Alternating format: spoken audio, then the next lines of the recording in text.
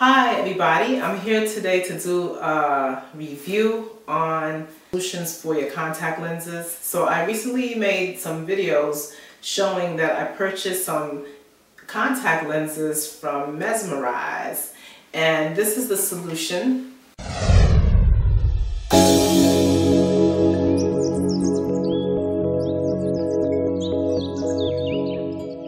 that I've been using.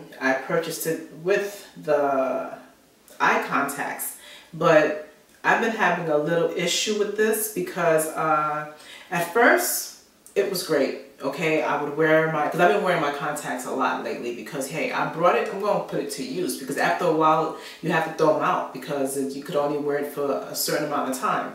The contacts that I have on right now are the the forest green and I have, they're good until a year from, until one year. And the way everything's going, before you know it'll be one year and I have to throw them out. So with that being said, I've been using this to, you know, to keep it clean and to moisturize the, the, the contacts. And at first, like I said, it was great and I didn't have any issues and it was, you know, I was able to wear it for a longer period of time.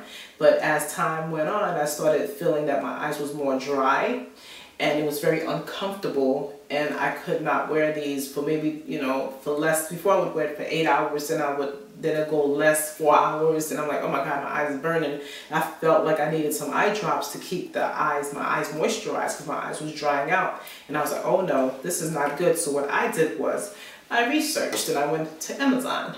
Amazon, the best place to go to find just almost anything Amazon is the place to go. So with that being said, I went to Amazon and I purchased um, the Opti-Free Pure Moist. This right here is the bomb. I love it. It's wonderful. It works really, really good. It really helps. It says it says it here, moisture from morning till night. And this is so true.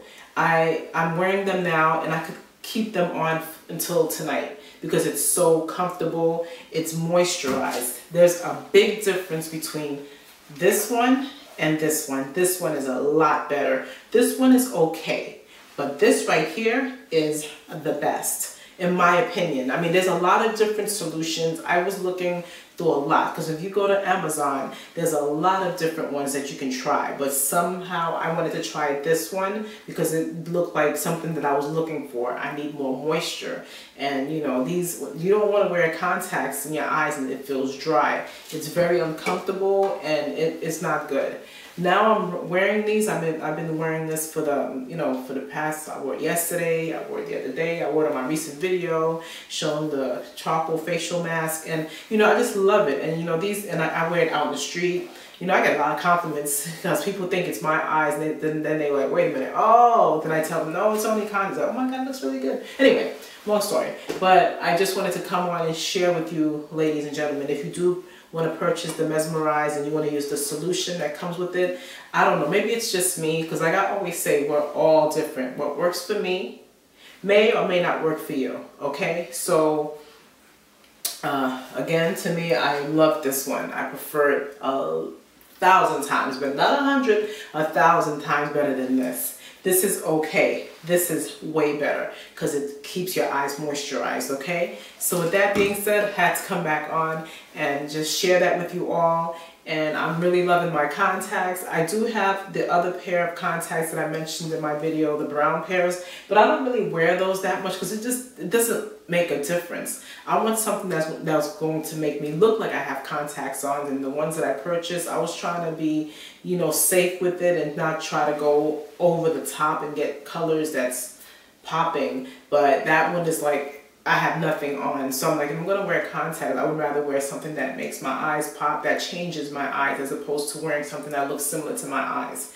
And that's the way the uh, the brown ones look on me. It's just like, you, you can't look, that one is even, the golden brown, you could see something, but the other pair, nothing at all. It's like, where, you know what I'm saying? But with these, you definitely could see it stand out. I really love it. And it's fun because, you know, it's fun for me to, you know, you know, wear these contacts and I wish my eyes was like this for real, but oh well, why not have fun with it, okay? So with that being said, guys, have a fabulous day. God bless you all, and I'll see you guys in the next video. Bye-bye.